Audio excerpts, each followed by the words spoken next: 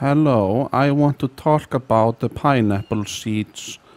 Pineapple seeds grow pineapples, but only in hot weather.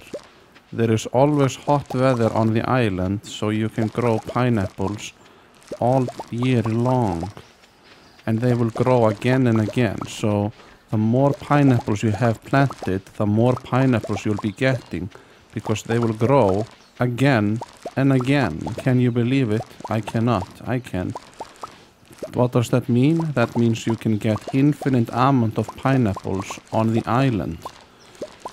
What I do is I have uh, the preserved jar here. So uh, if I get bad quality pineapples, I can put them in the preserved jar and then sell them to get a little more money. And then I put the rest of the pineapples that are silver or gold into the shopping cart the shipping cart. And then I can collect the pineapples and put them in the shipping basket, bin, casket. No, not casket, basket. I don't want my pineapples to take damage, so what I do is I put a lot of floor and a scarecrow. I don't even know if there are any crows here. I don't think so because they haven't found any after many weeks and months of Stardew Valley. So maybe Scarecrow is unnecessary, but I like to have it anyway, because uh, Scarecrow is part of me. Then I can get the pineapples and sell them. You just have to grow the pineapples in hot weather or your greenhouse and then you can sell them and make lots of money. If I go to sleep now, I'll show you how much pineapples are worth.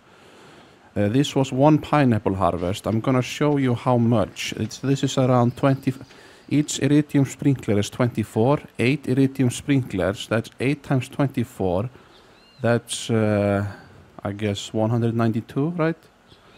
That's 192 pineapple seeds that I've planted here. So what does one harvest of 192 pineapple seeds give me? Let's find out together. This is uh, pineapples and pineapple jelly using preserve jar. As you see, one harvest is $56,000. I forgot to sell the jelly, I think. Oops. Don't worry, everyone. I will sleep again to show you the jelly. Don't so, so don't be jelly. 56,000 without selling the jelly. That's crazy and it keeps growing again and again. It never breaks no matter what season it is. So here we have pineapple jellies and I'm gonna go sleep again because why not? First we see the birthday. Robin's birthday. That's very nice birthday. So the jelly will give me another 26,000. So as you see, I get almost 80,000 gold per pineapple harvest with a 40 jelly.